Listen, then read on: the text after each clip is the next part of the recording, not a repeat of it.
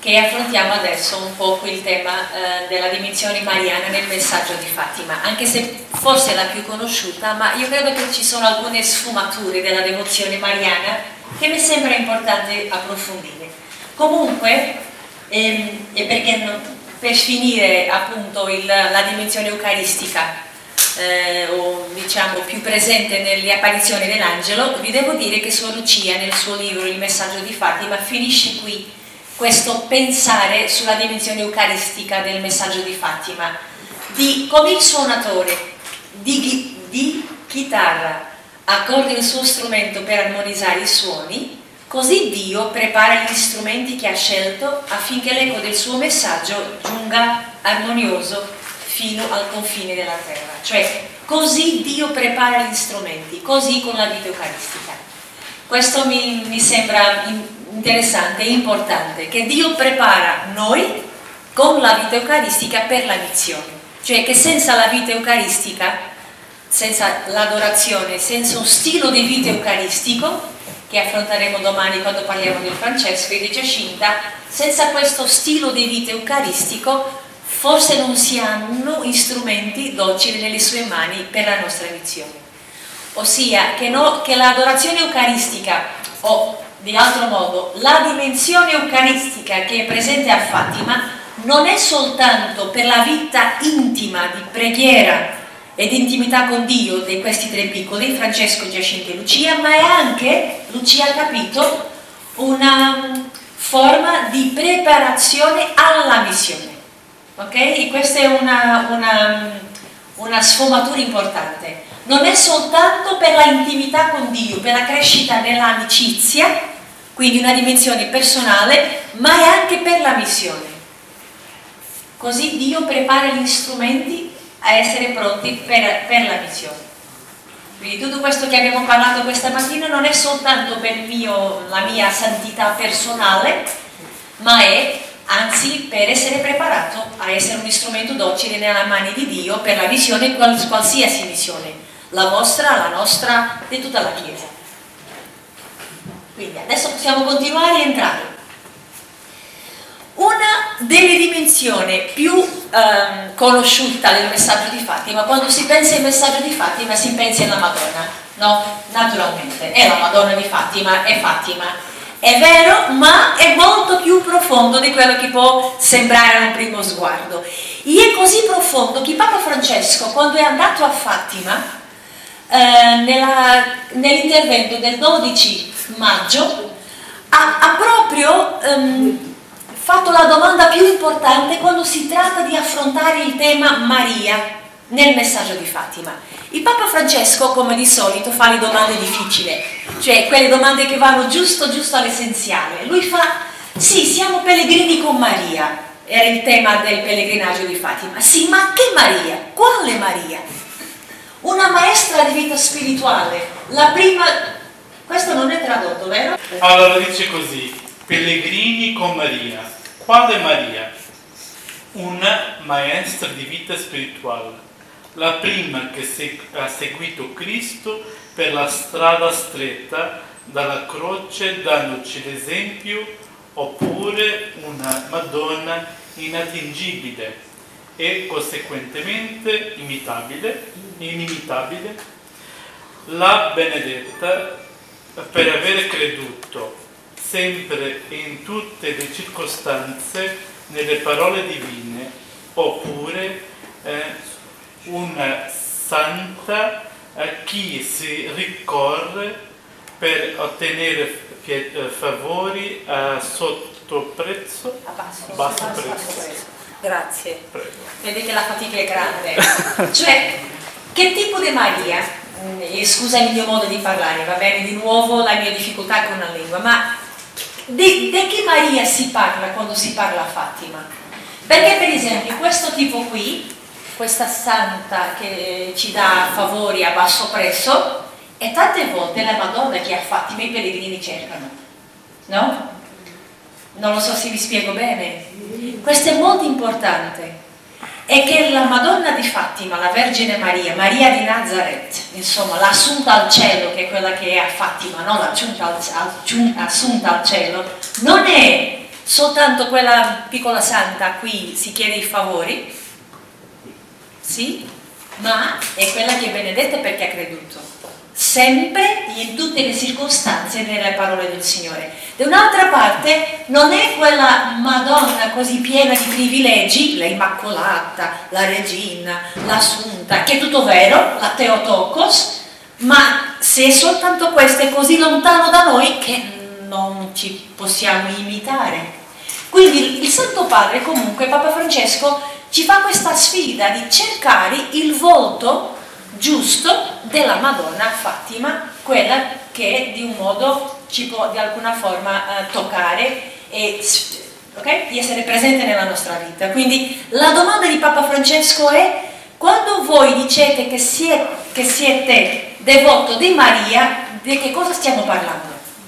vedremo che è molto più impegnativo che quella che sembra un primo sguardo, questa devozione mariana, ma andiamo perché il tempo corre. È interessante che quando Lucia trova la Madonna gli fa la domanda di dove è lei, cioè cerca in fondo di conoscere chi è la Madonna. Curioso che la Madonna non dice chi è. Sai, quando, quando Anna Maria mi ha presentato mi ha detto il mio nome, no? Suor Angela che viene da Fatima e fa questo, questo, questo. La Madonna non dice il suo nome. Chiede l'incontro. Sono venuta qui a chiedervi di venire qui per sei mesi consecutivo, lo stesso giorno, alla stessa ora. Poi alla fine vi dirò chi sono e che cosa voglio. Interessante. Prima di dire, perché lei poteva dire su, no, subito, sono la Madonna del Rosario. No, ha detto venite qui, sei mesi, poi vi dirò chi sono. Cioè, prima chiede l'incontro, voglio che venite qui, poi offre la conoscenza. Cioè, di nuovo la stessa dinamica di cui abbiamo parlato questa mattina quando abbiamo parlato di fede.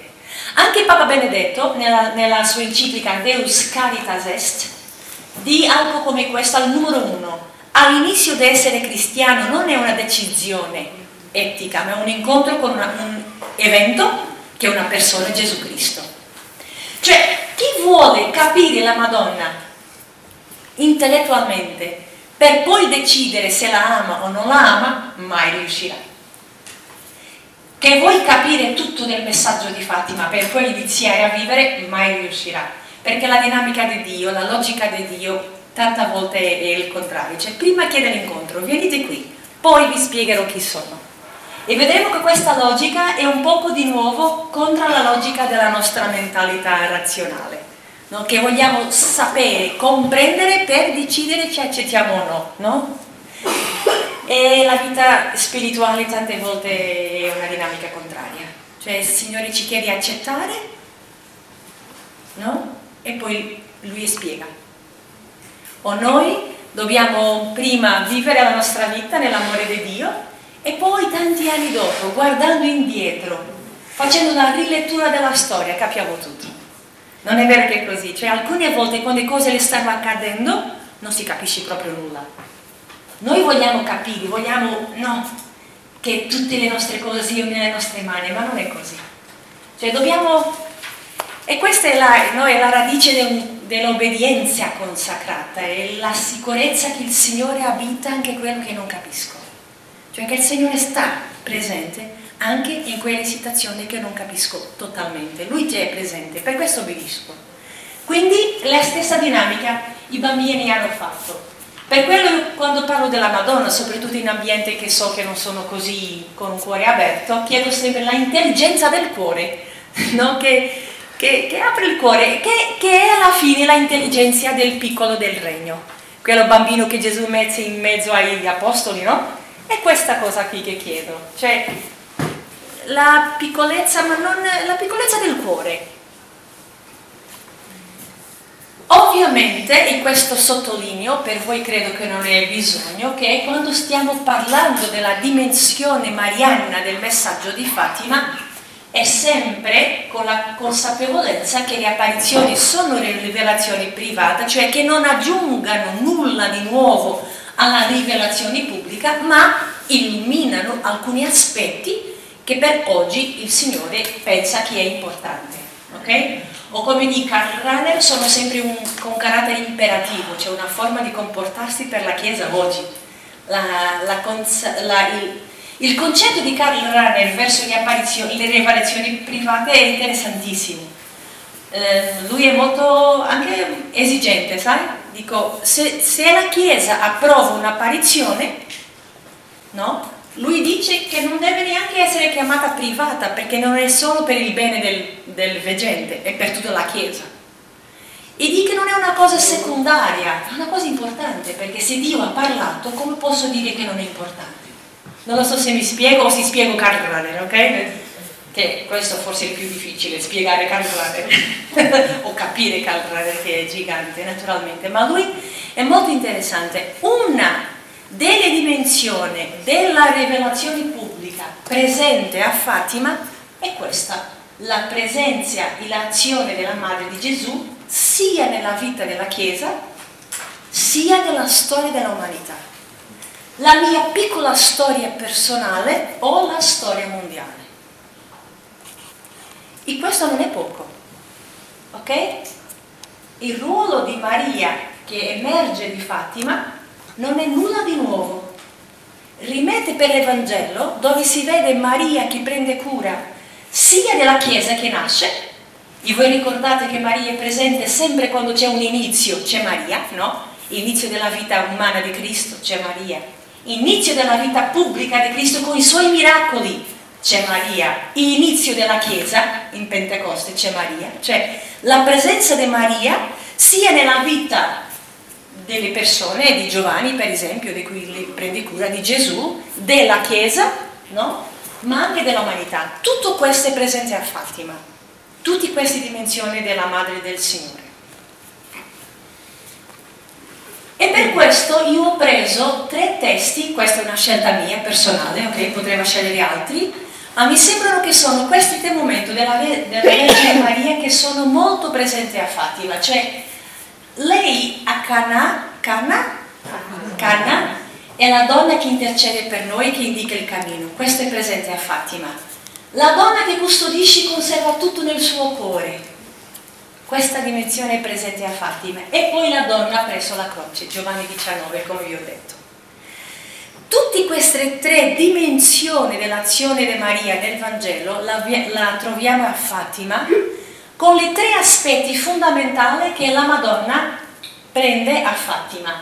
La Signora del Cuore Immacolato, la Signora del Rosario e la Signora più splendente del Sole, che era la forma come i tre bambini più parlavano di questa Signora, luminosa, vestita del sole, più bianca che la neve, luminosa, cioè il modo di caratterizzare la Madonna era, la parola più usata era luce, luce, sole, bianco che sono tutte parole pasquali, vedono? Con una, un contesto pasquale, luce, bianco, sole. Quindi non, non, voglio prendere più il tempo che quello che ho, quindi devo andare in fretta, quindi andiamo in fretta.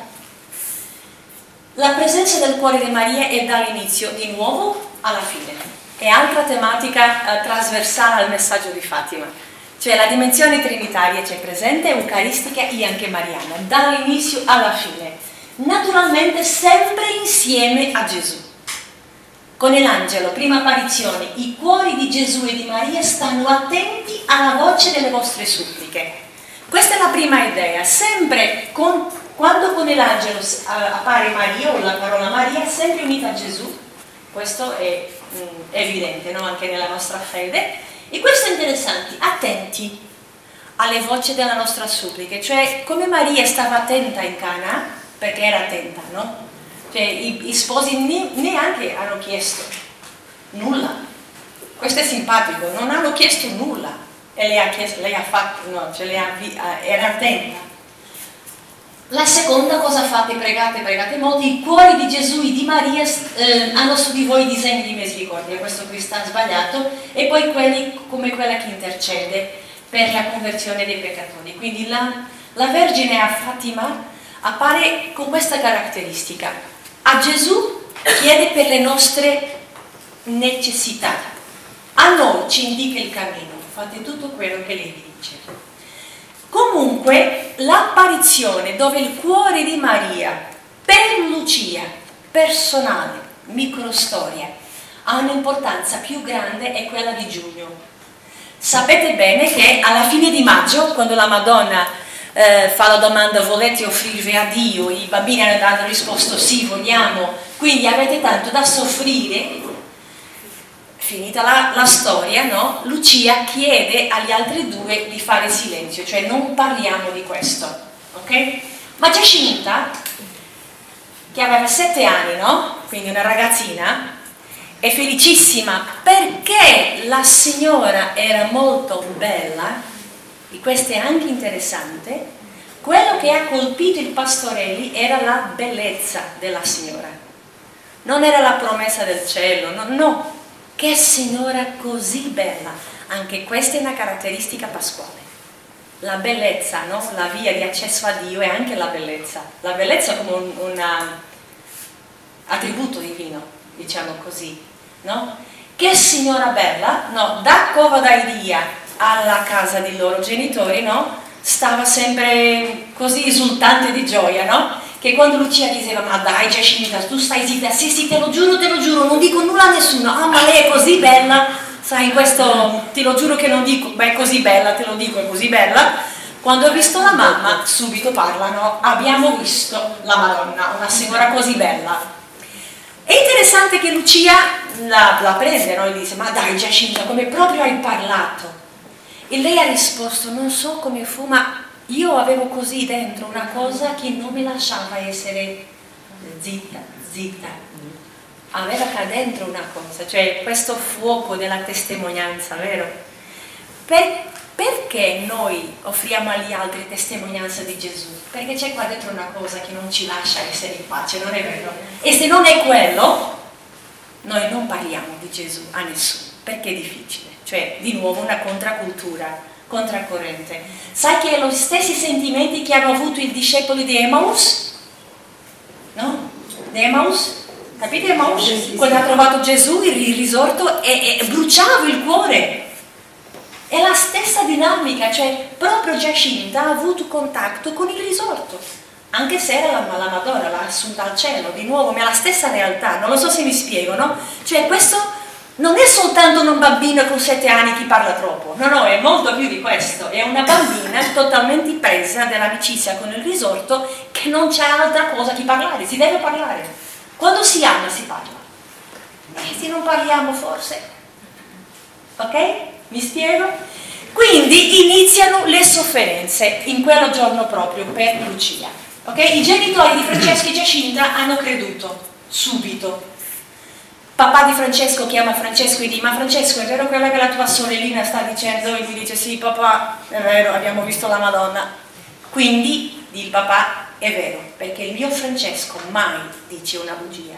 Tremendo no? Sì sì per Francesco, per i genitori dei, dei due pastori santi il problema era risolto perché il mio Francesco mai ha detto una bugia.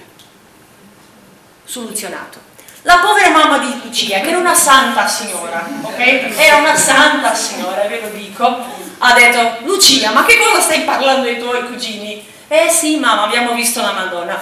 È una bugia, perché tu non sei buona il sufficiente per vedere la Madonna quindi era una questione di merito che non c'è, ok? Quindi era il suo sbaglio. Non era cattiveria, credimi, non era cattiveria. Era soltanto che la povera mamma era confusa. Poi lei diceva come si può fare questo? La gente adesso lascia la chiesa per andare davanti a un albero, un albero, albero, albero a pregare. Cioè, e lei aveva ragione, cioè, qual è il senso di lasciare la chiesa e andare davanti a un letto? Cioè, non è quindi la vita di Lucia ha cambiato proprio nel giorno della prima apparizione. Finisce la pace, fino alla fine. Sto parlando di più 80 anni di vita, ok? Mai la povera Lucia ha avuto una vita tranquilla, serena, senza difficoltà o senza croce. E noi tanti volte ci lamentiamo. Signori, ti seguo con tutto il mio cuore, perché queste cose mi accadono, no? Perché questa croce? Perché questa difficoltà? Perché la povera Lucia, poverina, ok? Da quel giorno in poi inizia a avere la croce. in tale modo che lei che ancora non capisce tanto della vita spirituale, ok?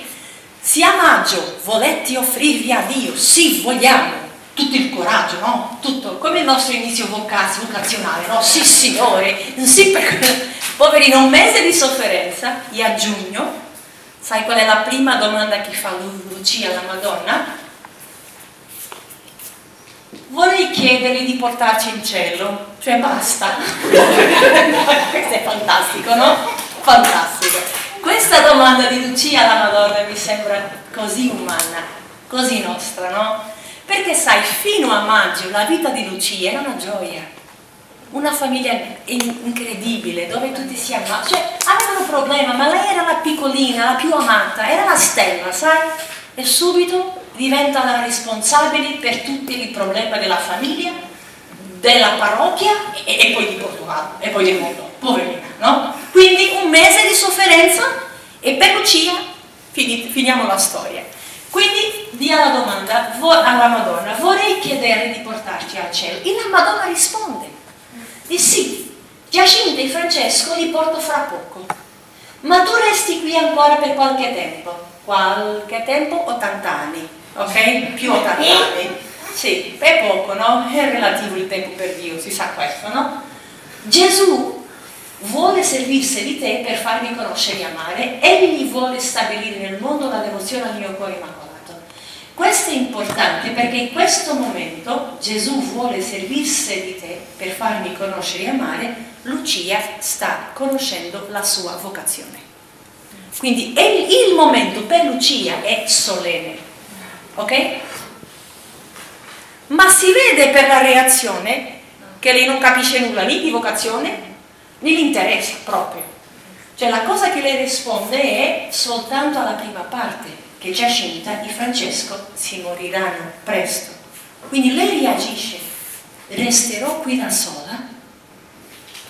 Questo dialogo, questo dialogo fra Lucia e la Madonna è molto interessante. Interessante anche la, la risposta della Madonna, cioè la Madonna non è che salta sulle domande umane di Suor Lucia, perché la solitudine cari amici, è una delle grandi ferite dell'umanità, anche nostra. Cioè, e, e, e, tante volte la solitudine, ho letto un libro fantastico su questo, oggi, anche oggi, è considerato come una cosa quasi melodrammatica, no? I depressa, i, com, quasi come se fosse... Ma la cosa interessante è che la solitudine, anche antropologicamente, è importante cioè, i, i, grandi momenti della nostra vita sono vissuti da solo, vero? La nascita e la morte. Eh, sono soli, sì. Noi che accompagniamo malati, malati a morire, anche se noi siamo di là, quel momento è unico. Anche Gesù ha vissuto momenti della sua vita molto da solo e non è soltanto l'agonia nel Getsemani. Ok? Vi ricordate quei momenti, per esempio, quando Gesù sta dicendo ai discepoli, io mi vado a morire no? Che cosa hanno risposto gli apostoli? Come? Moriamo con te?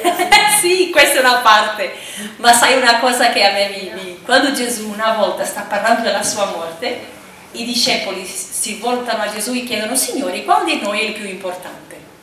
Vi ricordate questo?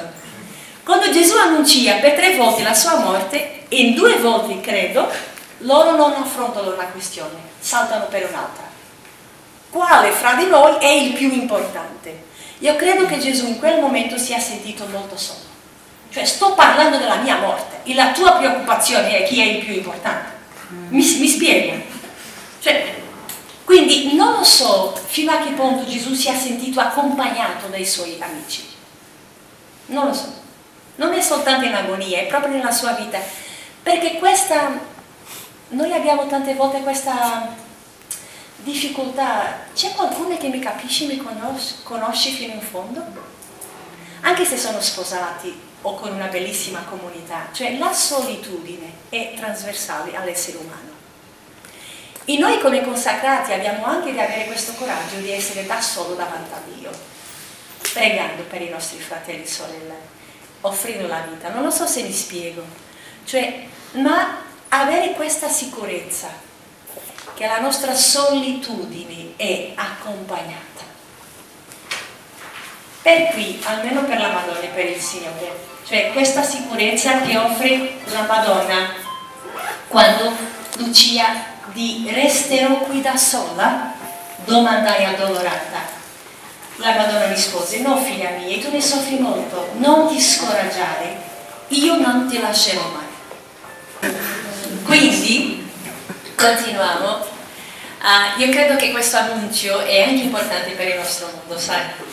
Perché tanta gente veramente soffre la solitudine come una cosa pesante, e pesante, e, e, grazie, è come mm, sì, come Sor Lucia capisce che sarà la, la sua vita in quel momento in poi, da sola, no?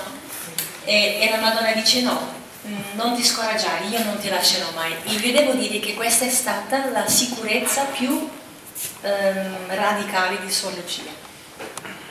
Quando si legge il suo diario, vi garantisco che si trova molto di più pagine sulla Santissima Trinità e Gesù che su Maria e quando si trova sul Maria è sempre questo, Maria è come l'atmosfera dove cresce la sua intimità con Dio. Non lo so se vi spiego, sì? Dio è il suo amore, Dio è un nitrino, Dio Eucaristia, no? è proprio il centro della sua vita, ma la Madonna è, è, è questo cuore immacolato che l'accompagna, cioè è la casa dove cresce il suo rapporto con il Signore. E questa è stata nella lunga vita di Lucia piena, piena di difficoltà, di incomprensione, di solitudine, di ultraggi, di mentire, di bugie. Poverina, solo Lucia ha sofferto credo che tutto quello che noi possiamo pensare, tutto il contrario di tutto, ma la sicurezza più radicale era questa, che il cuore di Maria mai la lascerà. Quindi il mio cuore sarà il tuo rifugio e il cammino che ti condurrà fino a Dio. Rifugio, e ritorniamo qui fra poco, perché continua a intercedere per noi, come in Cana. Per quello la Madonna è il nostro rifugio, ok? Perché oggi continua a dire al Signore quello che ci manca. Cioè oggi continua a pregare per noi. Cammino perché ci indica il modo della sequela Cristi, con il suo modo di essere, con la sua esemplarità. È il cammino perché con il suo modo di essere è esempio per noi come essere discepolo di Cristo. Penso un po', sì San Paolo abbiamo ascoltato ieri nella messa di domenica, no? Ieri era domenica, sì. Alla fine della seconda lettura, Paolo ha detto questa cosa meravigliosa, forse non vi ricordate.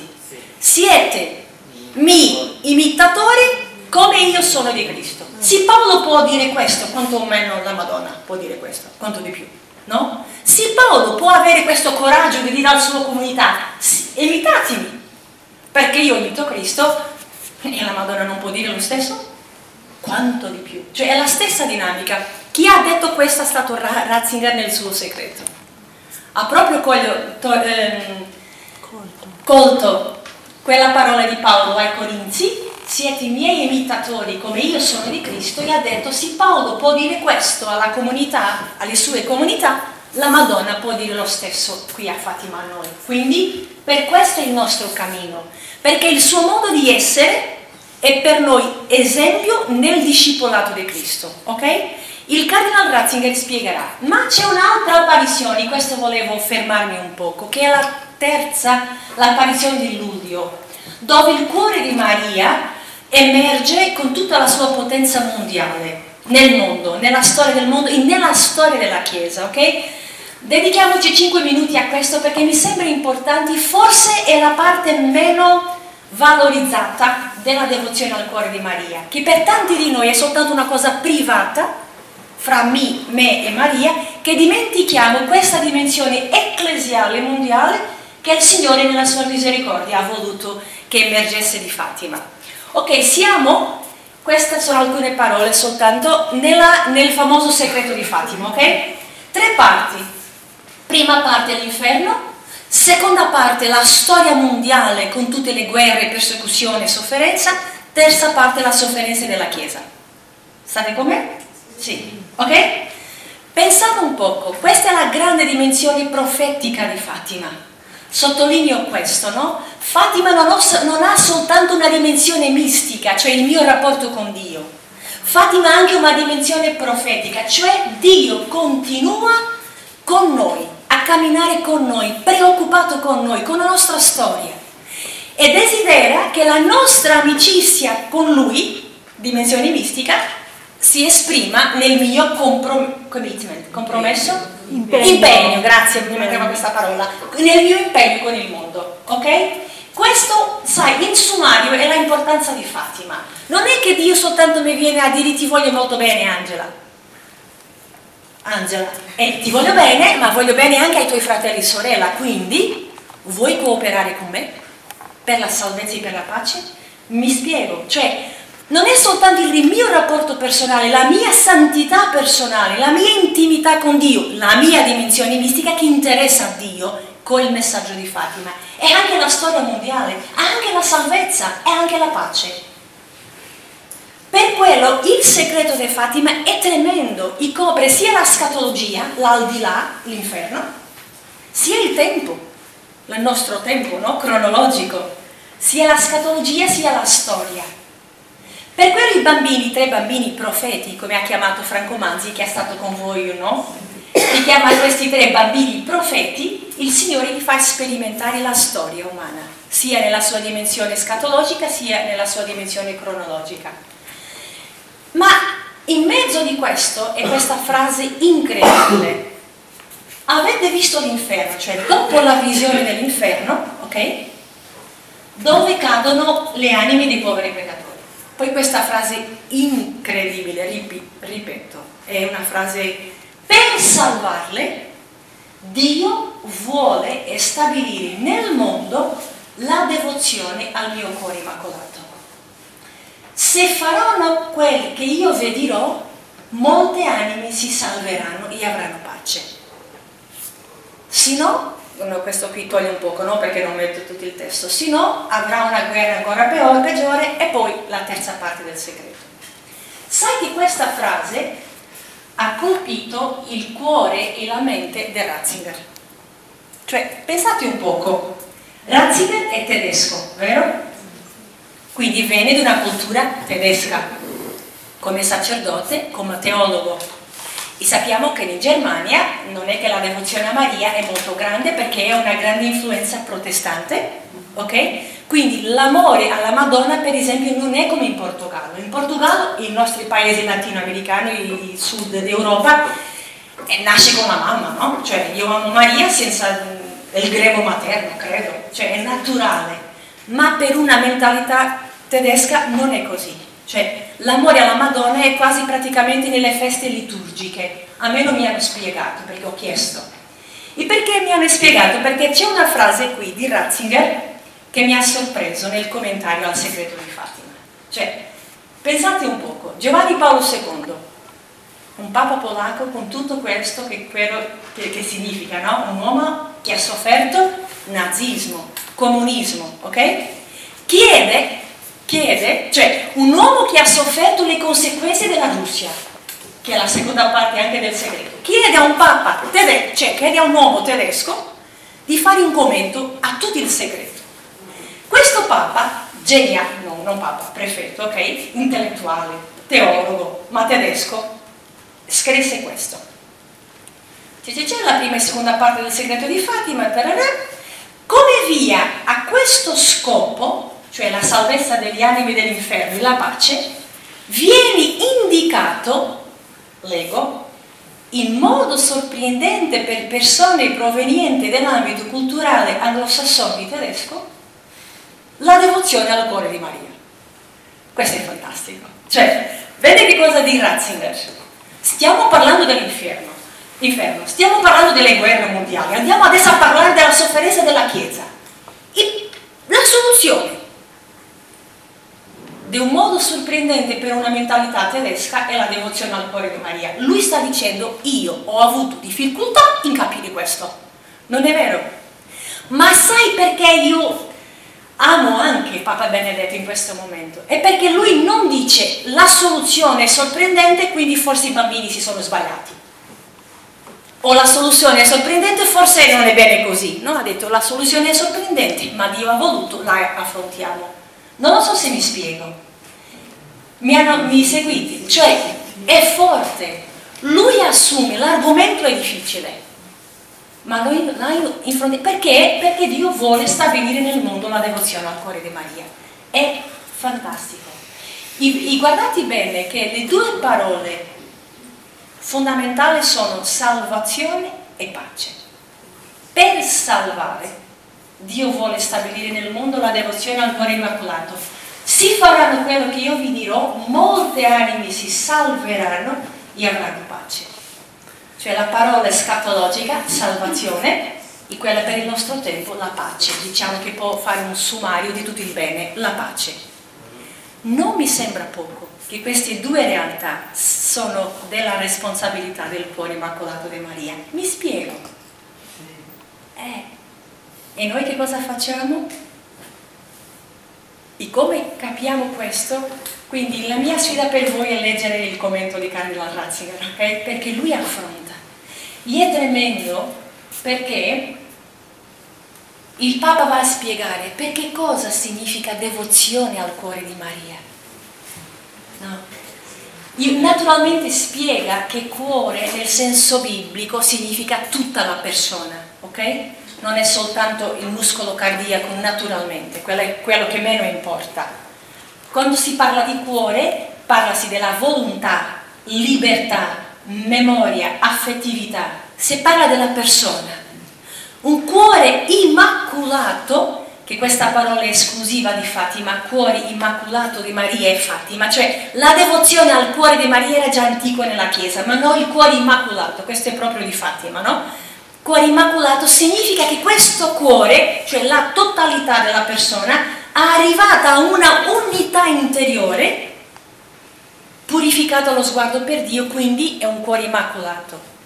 Quindi che cosa significa avere devozione al cuore di Maria? E lui va spiegando, no? Partendo di questa espressione, di nuovo un rifugio perché intercede per noi, non hanno vino, cammino la sua esemplarità, perché dice che questo cuore è arrivato a un centro unitario che è un atteggiamento della Madonna che è il suo fiat al Padre. Sia fatta in me secondo la tua volontà. Quindi Cardinal Ratzinger spiega, devozione al cuore immacolato di Maria è avvicinarsi a questo atteggiamento del cuore nel quale il fiat, sia fatta la tua volontà, diviene il centro informante di tutta la mia esistenza. E questo lui è molto chiaro, cioè essere devoto della Madonna non è portarci fiori alla Madonna, alle statue, no? Questo è importante, ma è secondario. Essere devoto della Madonna non è soltanto accendere le candele, è importante ma comunque secondario. La cosa più importante della devozione è avvicinarsi allo stesso atteggiamento del cuore di Maria, nel quale il mio fiat sia il centro informante di tutta la mia esistenza. Questo è avere vera devozione a Maria. Per questo lei è il cammino per il Signore. Non lo so se mi, non mi spiego cioè, se non mi spiego bene, Cardinal Ratzinger, terza parte del segreto, stava tutto chiaro, no? Ma è questo. Quindi, la parte, um, diciamo, personale della mia devozione è che quando io veramente son, sono devoto di Maria, quindi mi avvicino di questo atteggiamento, dove il mio fiat al Signore è il centro conformante di tutta la mia esistenza. E poi capire come lei ha promesso a Fatima che alla fine il mio cuore immacolato trionferà, che cosa significa questo trionfo del cuore di Maria?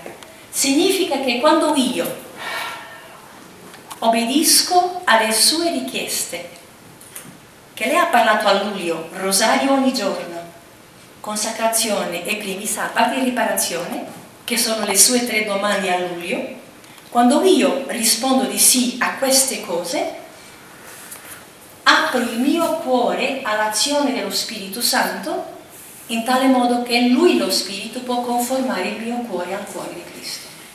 E lei trionfa qui. Vi ripeto, eh?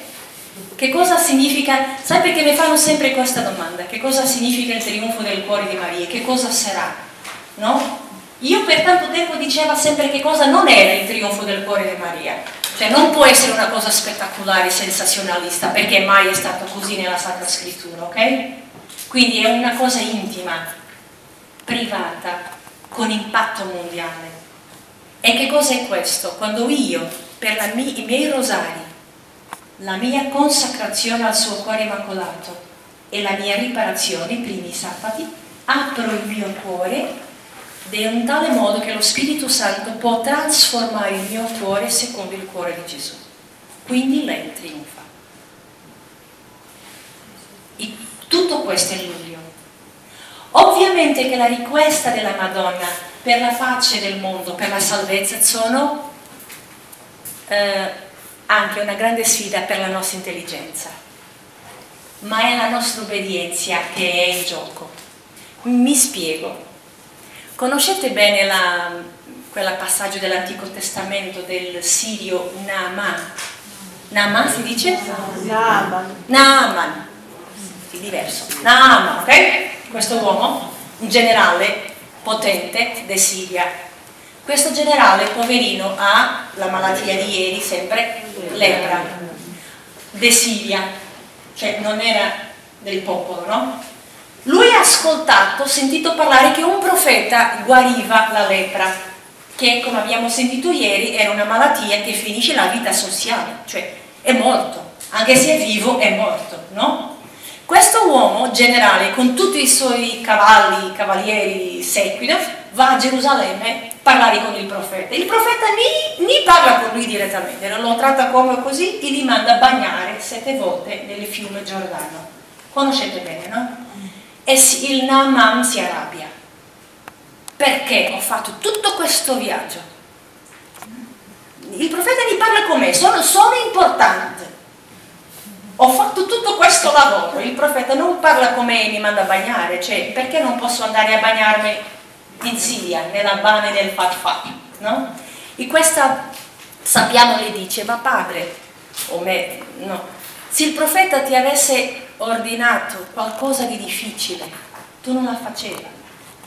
Perché non fai una cosa semplice che è bagnarti nel fiume sette volte? Sai che io credo che le domande, le richieste della Madonna, in contrappunto alla salvezza e alla pace, per noi la reazione è la stessa ma come la salvezza di tante anime e la pace dipendente dalla richiesta della Madonna che il rosario, riparazione, consacrazione, non mi sembra. Io credo che noi abbiamo tante volte lo stesso atteggiamento del Siria, Sirio Nama. Non lo so se mi spiego, ci sembra troppo poco per grazie così grandi.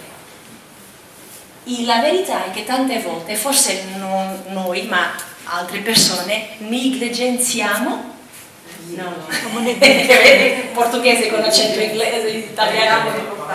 Sì, non, non, non, offriamo importanza a queste richieste della, della Madonna. ok? Quindi mi sembra che dobbiamo ascoltare queste richieste con un cuore umile.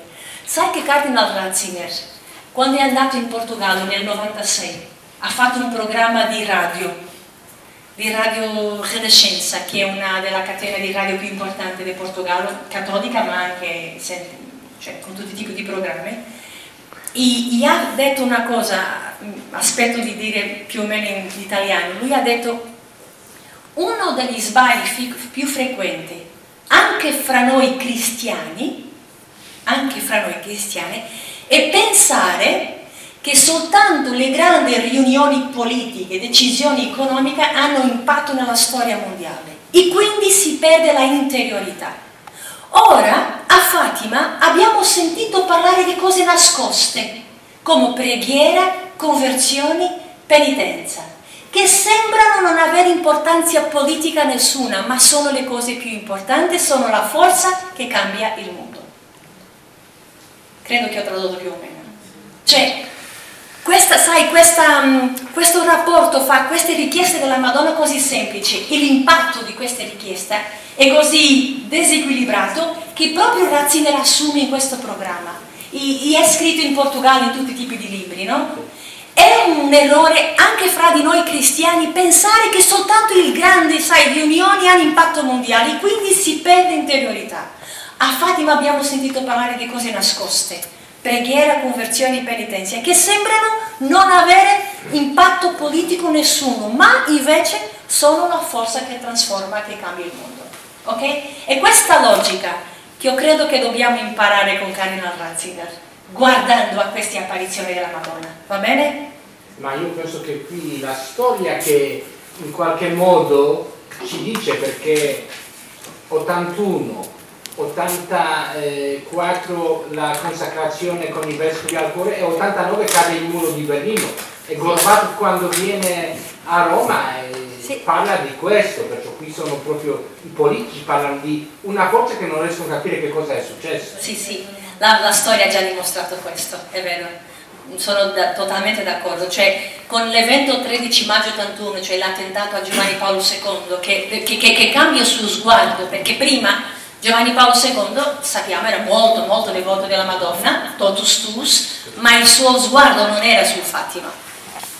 E, è quello 13 maggio 81 che fa lo sguardo del Papa cambiare e capire il messaggio di un modo diverso e cambia la storia della Chiesa, che credo con quello sguardo, cioè non credo, sono sicura, anche Lucia era sicura, anche solo Lucia era molto sicura, ma noi poi pian piano per, perdiamo la fede in queste cose Possi almeno c'è questo rischio, dico di nuovo, no? forse non con voi, ma è, è bene sempre no? rinfrescare queste cose.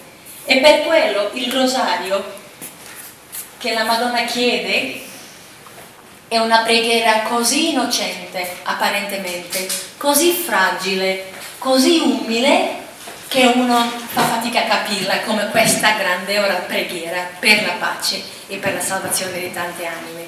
E è interessante che Sai, quando io penso che il Evangelista Luca di due volte che Maria custodiva tutto nel suo cuore, no? Le due volte sono a Betlemme con la nascita di Gesù e i pastori che lo visitano e poi in Gerusalemme quando lei perde il bambino Gesù, no? Ok? Due volte in Betlemme e in Gerusalemme. È proprio il luogo dove la vita di Gesù tutta inizia e finisce.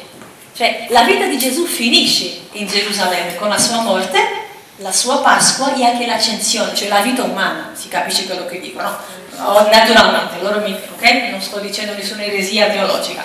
La umanità di Cristo si passa, c'è fra Betlemme e Gerusalemme. Quindi che cosa la Madonna custodisce nel suo cuore? Tutti i misteri della vita di Cristo, cioè la vita di Cristo per quello è la signora del rosario. Che cosa è il rosario? Se no tutta la vita di Cristo custodito nel cuore di Maria.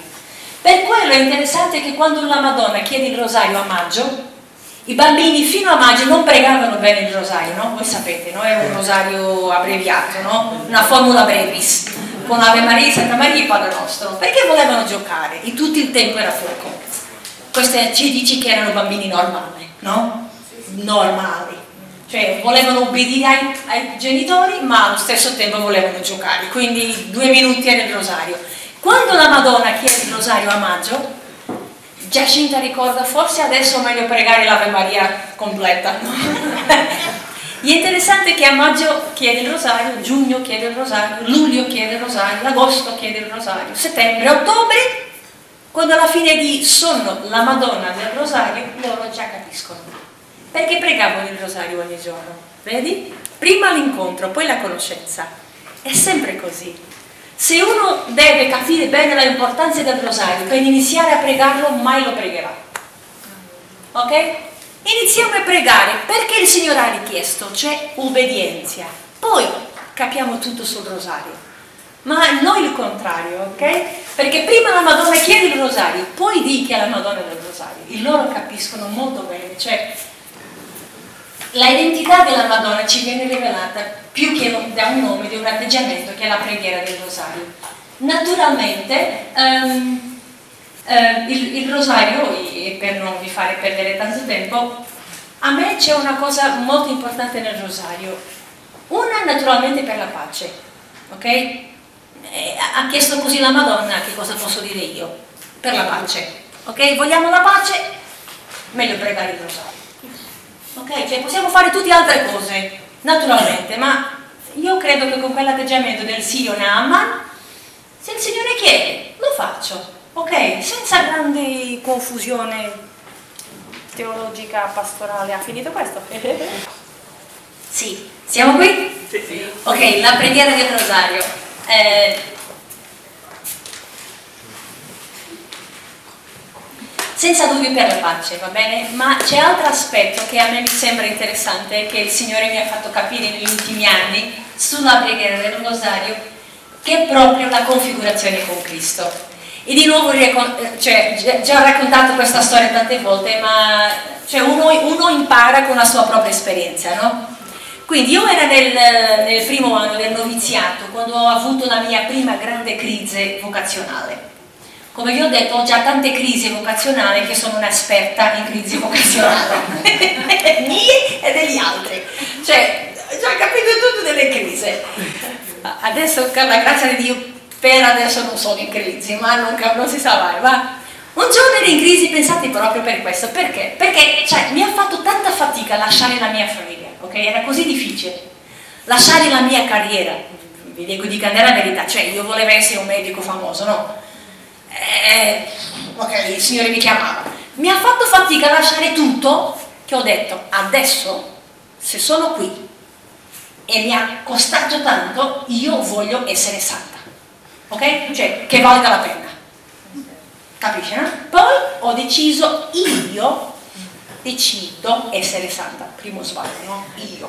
Ok, ma io non sapevo in quel tempo che il problema era io. e quindi mi ricordo di essere davanti al Signore Gesù e, e tentare capire che cosa, no? Ok, devo essere, per essere una santa, devo essere una brava suora, ma per essere una brava suora devo essere una brava cristiana, no? Tutto logico, per me deve essere logico. Ok, ho pensato io, lavoriamo con la dimensione cristiana della mia vita, io voglio essere, ok? Quindi ho cercato che cosa significa essere una buona cristiana. Mi sembrava che i dieci comandamenti non erano abbastanza, perché il giovane ricco di cui abbiamo parlato faceva tutto, ma gli mancava qualcosa. Ho pensato, Dio mio, più che dieci comandamenti, mi sembrava già difficile, i dieci comandamenti, quindi ma no, più. Quindi mi sembrava che non era soltanto fare il bene, cioè queste cose. Quindi un giorno ho letto San Paolo, le lettere a San Paolo, no?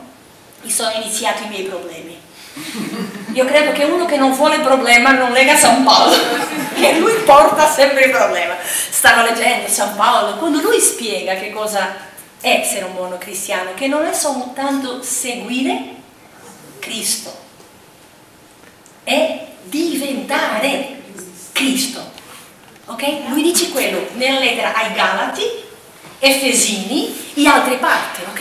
Ma in quel giorno mi ha... e poi i Filippi, Filippesi. Filippesi, avete in voi gli stessi sentimenti di Gesù. Ho capito, ho detto facile. E avere in me gli stessi sentimenti di Gesù. Ok, mi ricordo in quel giorno quando ho capito, sai, era quasi come una illuminazione, sai? È facile. Quindi Anna Maria, forse ne conosci la mia casa, dove abito io, è molto piccola, ok? veramente piccola, anzi dobbiamo costruire un'altra. Per quello andavamo tanti volte alla vostra casa perché non avevamo neanche spazio per pregare, ok? Veramente piccola. La mia cappella, cinque passi, siamo in cucina, ok? Quindi proprio, sai, tutta la mia casa forse non lo so. In quel tempo eravamo 14, suori, novizi, giovanissimi, affamati, ok? Soprattutto prima colazione, ok? Quindi la mia preghiera questa mattina mi ricordo, novizia io, che Signore Gesù, oggi io avrò i tuoi sentimenti, sempre. Sarò sempre simpatica, con pazienza per le mie consorelle, con una bella sorrisa sempre, sono io. Perdonerò tutto quello che mi faranno le mie consorelle, sai? Morning lode, no? io con gli stessi sentimenti di Gesù perché voleva diventare santa, ok? Quindi finisce la preghiera e la colazione, cinque passi. Siamo arrivati in colazione e noi abbiamo soltanto un microondas, come si dice? Microonde, ok? Quindi era quello che io chiamavo la conquista mattinale del microonda, perché era una fila, si dice fila, di suori affamate per il suo turno il microonde. Cioè, arriva il mio turno, ma questo è stato sul serio, cioè adesso scherzo, ma era il mio turno di mettere la mia tazza quando un'altra sorellina mi passa e fa sciù e mette la sua prima del mio. Sai dove sono finiti i stessi sentimenti di Cristo Ma subito ho iniziato, ma che cosa stai facendo? Mettiti in fila, questo è il mio turno, tu aspetta, eh, che cosa fai? La poverina pensava che ha fatto un atto di terrorismo, non so, e io ho avuto una reazione, sai, disproporzionata ma una, io mi sono arrabbiata, ma proprio arrabbiata, perché la poverina ha avuto il coraggio oltraggiante di passarmi in fila, sai. In quel momento io ho capito, mai lo farò. Mi spiego. Cioè, avere i sentimenti di Gesù, quando alla prima cosa, che è anche piccola, mi esplodo, mi viene un'esplosione con il mio carattere tutto... Ho detto non la faccio, e sai che ho entrato in crisi perché ho pensato non la faccio, cioè non sono capace. Ovviamente era tutto sbagliato, no? dall'inizio alla fine. Ma sai come queste cose, noi all'inizio non conosciamo tutta la dinamica spirituale, no? Chi, chi conosce la dinamica spirituale? Conosciamo che voglio fare, faccio e basta, ma no. Ho entrato in crisi, sai, ho parlato con la mia superiore, maestra di novizie, direttore spirituale, ma nessuno, sai, riusciva Ok, ok, questo rapporto fra libertà e provvidenza, voi, voi capite? Io non capisco, ancora oggi. Cioè, è la mia libertà, ma è il Signore chi fa? Ma chi fa? Il Signore o io? No, per me è sempre una confusione queste cose, sai? Ancora oggi. Okay, ancora oggi sto qui. Questo rapporto fra libertà umana e provvidenza divina. Ancora oggi, vedi come sto indietro nella vita spirituale, sono ancora qui, ma Comunque parlava, parlava, ovviamente non ho lasciato la vita consacrata, mi hanno aiutato, io pregavo, sai, mi era così, sai. Un giorno Giovanni Paolo II, San Giovanni Paolo II scrive la lettera sul rosario, Rosario Virgines Maria, 2002, ok? Finita questa crisi. Il 16 ottobre 2002, quando esce la lettera, io la leggo. Il numero è 15, ok? Potete controllare, il numero 15. Il Papa di questo ok? Ascoltate bene, il rosario ci trasporta misticamente accanto a Maria e questo permette a lei formarci e plasmarci fino a che Gesù sia formato in noi pienamente. E lui cita proprio la lettera al Galatas, cioè quando io prego il rosario vado misticamente accanto a Maria e che cosa fa Maria con il mio rosario? Lavora il mio cuore con il mistero di Cristo che lei custodisce finché Lui sia formato in me. È semplice. Io mi ricordo, sai, di dire, Signore, il rosario io lo so pregare. Quindi io prego il rosario, è la mia parte, e tu fai il resto, perché non la, posso, cioè, non la faccio più. Sai, mi ha dato una, sai, Ah, ok, è una parte che è sua. La mia il rosario, ho detto Signore, il rosario io lo prego, il meglio che posso. Adesso poi ho capito, ovviamente, che cosa lei custodisce nel rosario? Il mistero di Cristo, il mio mistero. Perché io credo che nei confronti con il mistero di Cristo è il mio mistero che io capisco alla fine. Vi ricordate l'esperienza di maggio? Ci vedevano a loro stessi nella quella luce questa esperienza del rosario, perché io credo che Maria non soltanto custodisce il mistero di Gesù, custodisce anche il mio mistero personale, sai? Perché io sono un mistero alla fine, anche ognuno di noi, non lo so se mi spiego. Quindi io dico come Giovanni Paolo che non prego il rosario a Maria, prego il rosario con Maria, contemplando lo volto, lo sguardo di Cristo. E questo cambia tanto, questo piccolo cambio di prospettiva, sai? cambia tanto della forza e della potenza di questa preghiera. Prego il rosario con Maria, contemplando insieme a lei, con i suoi occhi, con il suo cuore, il mistero di Cristo e il mio proprio mistero. Va bene? Quindi questo è un aspetto della preghiera del rosario che credo che deve essere sottolineata anche quando parliamo del rosario. Cioè una preghiera cristologica ma che ci porta alla configurazione con Cristo. E questi amici miei è la santità. La santità è la configurazione con Cristo. Ognuno di noi ha il suo modo, con le sue capacità, la sua struttura, il suo essere no, di Brasile, degli Stati Uniti, di Africa, di Asia, ovviamente tutte santità diverse perché siamo persone diverse, culture diverse, ma sempre configurazione con Cristo. E per finire, la signora più splendente del sole la, la, donna sotto la croce. Io credo che è qui che radice la, la forza dell'impatto di Maria nella vita del credente. Veramente sempre Lucia, quando parlava della Madonna, era sempre luminosa, no? Da maggio. Vedevo sopra un letto una signora vestita tutta di bianco più luminosa del sole. L'esperienza di maggio della luce. Eravamo così vicini che restavamo immersi nella luce che la circondava o che lei diffondeva. Cioè, chi si avvicina di Maria finisce immerso nella luce che è Dio, no? Sempre questa dinamica, si vede sempre. Cioè, eravamo così vicino che restavamo immersi nella luce che la, la circondava o che lei diffondeva. Lucia ha le difficoltà a dire proprio dove è quella luce, qui è quella luce, no? Ma ovviamente è nella terza parte del segreto che si vede bene questa donna luminosa che guarda al cammino della Chiesa.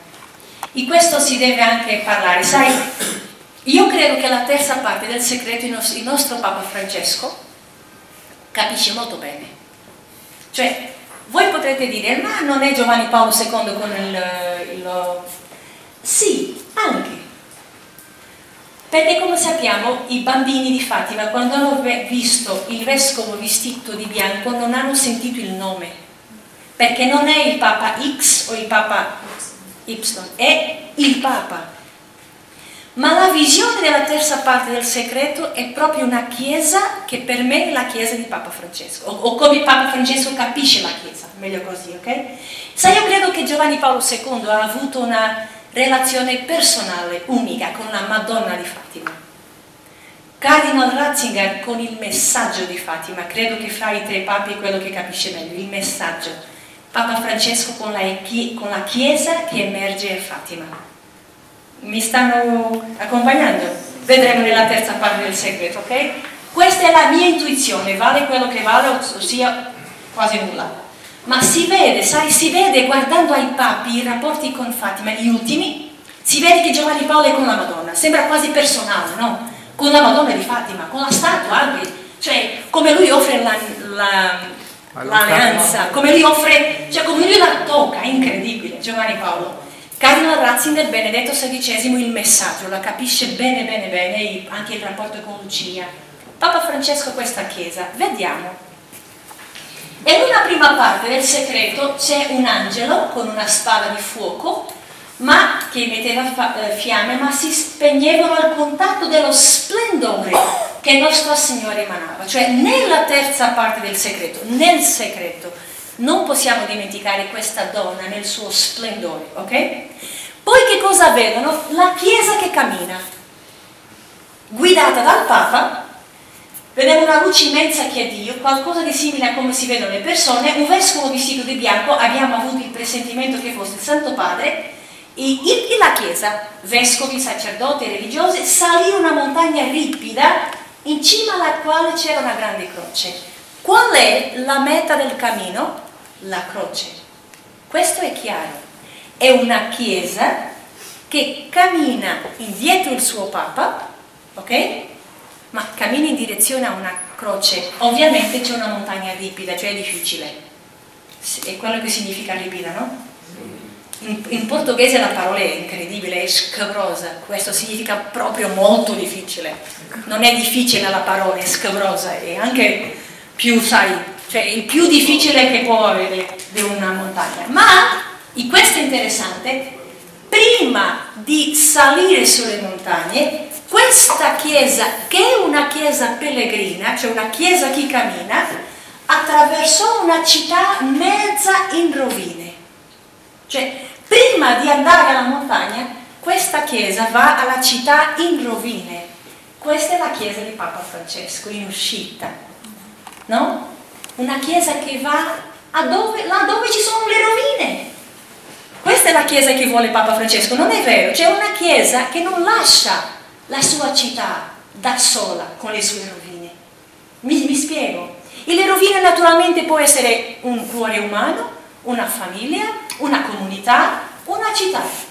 Cioè la chiesa come proprio un ospedale di campagna, chi, Papa Fra, chi parla Papa, mi sembra proprio questa chiesa che si vede a Fatima, cioè una chiesa che si fa pellegrina con i suoi fratelli là dove ci sono le ferite. Questa è la Chiesa, ma naturalmente sempre guardando alla croce e al crocifisso, che è la meta del cammino e anche la forza.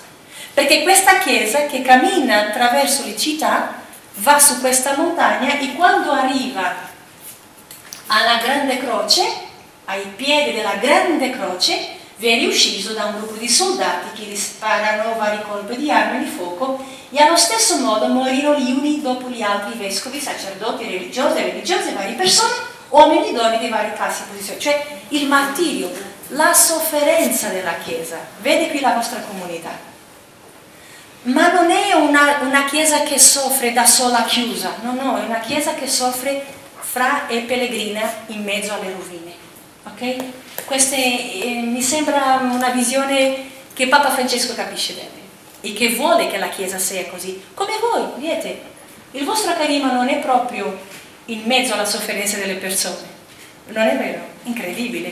Deve, io credo che questa visione per voi è molto... Tocca tanto, no? Perché proprio la vostra chiamata, è, chiesta, è questa. Ma chi è presente in tutto questo? Non dimentichiamo, è questa Madonna. Quindi Maria con il suo splendore continua ad accompagnare la Chiesa nel suo camminare verso la croce. Cioè Maria è, è là, è la donna presso la croce, o come dice la Lumen Gentium nel numero 62, Maria con la sua materna carità si prende cura dei fratelli del figlio suo ancora pellegrinanti i posti in mezzo ai pericoli affari. Cioè, quella visione è proprio, credo, la Lumen Gentium 62. Non è soltanto il Papa che è morto, no, è tutta la Chiesa che soffre. Per grazia di Dio Giovanni Paolo è stato salvato. Ovviamente non sappiamo se un Papa sarà ucciso, questo non interessa, cioè questo interessa sì, ma non, è, non, è, non dobbiamo assolutizzare questo segreto in quella parte. È tutta una ecclesiologia, una Chiesa che si capisce a se stesso come un insieme di gente che pellegrina indietro al suo Papa, la unione con il Papa, e noi sappiamo che cosa sto dicendo dicendo questo, la unione con il nostro Papa, che oggi si chiama Francesco, ok? Mi spiego? Sì, è la unione con il Papa. Sai, una delle cose che io ringrazio più al Signore con il messaggio di Fatima è questo amore per il Papa che mi fa oltrepassare discussione oh questo papa sì, o oh, quello l'altro no, o oh, l'altro sì, o oh, questo no. Sai questo tipo di parole fra di noi, Chiesa, con la grazia di Dio, chi vive il messaggio di Fatima non accetta questo discorso. Perché abbiamo imparato a amare il vescovo vestito di bianco, sia con la Madonna sia con la piccola Giacinta, che ha visto il Santo Padre per due volte in sofferenza, in visioni private, e lei non sapeva il nome del Papa, ok? Per lei era uguale. Per quello Papa Giovanni Paolo II, che è nato dopo Giacinta è morta, ha detto quando va a Fatima a beatificare, grazie Giacinta per quello che hai fatto per il Papa, questo è grande. Non lo so se mi spiego, no? Un uomo come Giovanni Paolo dire grazie Giacinta per quello che hai fatto per me. Il Benedetto XVI di lo stesso. Grazie ai tre bambini per quello che hanno fatto per il Papa. E può dirlo, perché è vero, hanno fatto per il Papa. E noi credo che siamo chiamati a imparare con questo. È il Santo Padre, lo amiamo. Naturalmente sono tutte diverse, ma questo è un livello umano, antropologico. La fede mi dà uno sguardo diverso. Mi spiego. Credo di sì, no? Oggi si chiama Francesco, è il nostro Papa, lo ascoltiamo, lo amiamo, preghiamo per lui, facciamo sacrifici per lui ok? Perché oggi è questo Papa che... Quindi questa Chiesa che cammina con il suo Papa attraversando le rovine delle città, non allontanandosi, ma in mezzo alle rovine, sempre con la speranza che nasce dalla croce. Della croce, che è l'unica speranza e l'unica forza, ok? E con la Madonna che prende cura di noi. Quindi, questo è, diciamo così, quello che aveva per condividere con voi di questa dimensione mariana del messaggio di Fatima, ossia una dimensione personale, io mai ti lascerò, il mio cuore sarà il tuo cammino, il rifugio che ti porterà a Dio, una dimensione mondiale, si faranno quello che io vi dico, si salveranno tante anime e avranno pace, una donna che ci invita alla Chiesa a essere quello che è, un popolo che cammina con il suo Papa, attraversando le difficoltà delle persone, camminando sempre verso Gesù che è la meta della storia.